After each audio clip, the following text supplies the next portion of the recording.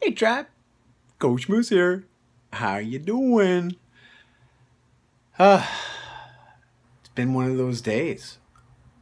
Feels like I've been going full throttle from the time I woke up to literally moments ago.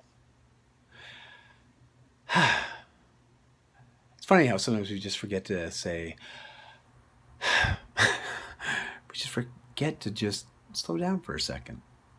Take a deep breath and just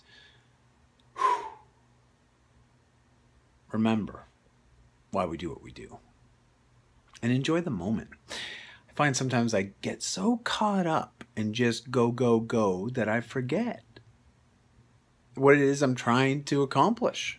Literally, like just even with my day. Do you ever set intention for yourself and the things that you do in a day? You know, like just, just,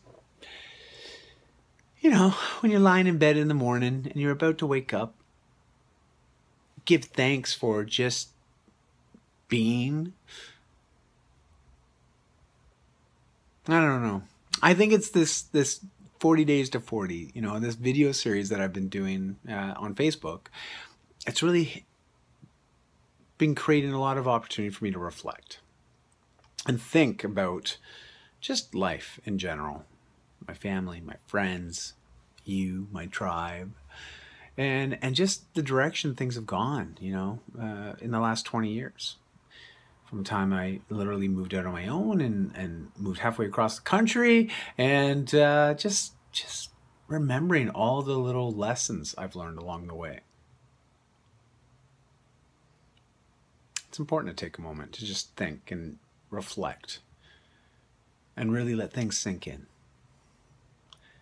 I know I'm guilty of just go, go, go you know, just not taking time for me at times. And uh, it's something that I'm, I'm curious. Do you ever feel that way? Do you ever feel like you just go, go, go, go, and you get to that point where you're like, what am I doing? I'm curious to hear what you have to say about that. Today, you know, it's the midweek. We're now in our second week of this 12th phase of the Whole Life Fitness Manifesto. And the conversations are real. You know, people are achieving things through these micro investments in ourselves. And we are becoming more aware of the things that we do and the choices we make and the actions we take. Because everything has a reaction, right? There's a reaction, there's a cause, and, and we have this sort of ongoing process. I know it sounds like I'm rambling, doesn't it? I think I'm in one of those moods today.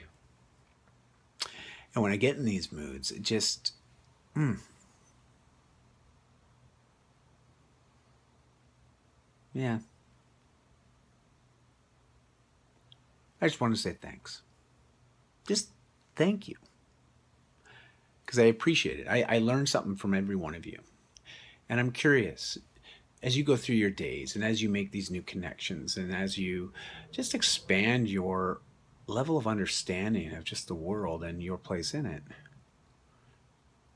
what is it that brings a smile to your face? What is it that you're most happy about? Do you have a personal ritual in giving thanks for either these people or these experiences and just appreciating them for what they are? Because they're a moment in time but it's a moment in our time, our stories. Feeling pretty philosophical today. Must be because it's in three weeks I turn 40. It's a big milestone. Anyways, be well. Talk to you guys soon.